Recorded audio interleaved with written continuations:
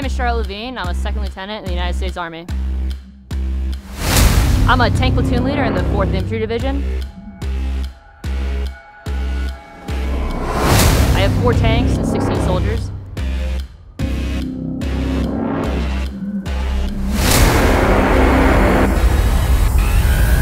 And our job will be destroy the enemy.